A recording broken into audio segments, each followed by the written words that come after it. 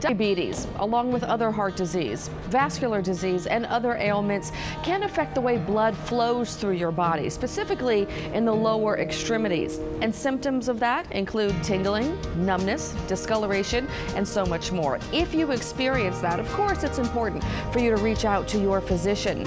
East Jefferson General Hospital presents Healthy Lifestyles. Here at East Jefferson General Hospital, we have the opportunity today to speak with Dr. Amber Poirot. She's a podiatrist here at East Jefferson General Hospital. She talks to us about the Spy Elite tool, and this is very important about finding out exactly what's happening with your blood flow and your circulation. She talks to us about the benefits of having this tool here at the hospital. We have our Spy Elite, uh, which is traditionally used. Plastic surgery uses it a lot, general surgery will use it.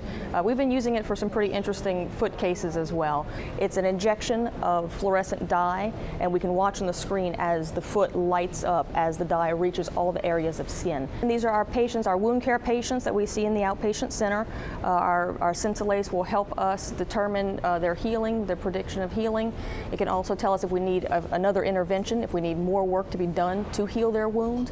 The inpatient side, these are for patients who, uh, these are kind of complicated wounds that are tricky to heal, and this isn't something that you would you would just kind of see in a textbook that we would know what to do right away. We have to get creative sometimes in the operating room. So the Spy Elite device really helps us uh, to kind of plan our incisions better and maximize the chance of healing for this foot that's that's already in bad shape. So if you experience any of those symptoms, numbness, tingling, discoloration in your feet or toes, it's important to reach out to Health Finder. They'll put you in contact with Dr. Amber Poirot or any of the team here at East Jefferson General Hospital. They will help you get your circulation going in the right direction for your health. Thanks for watching.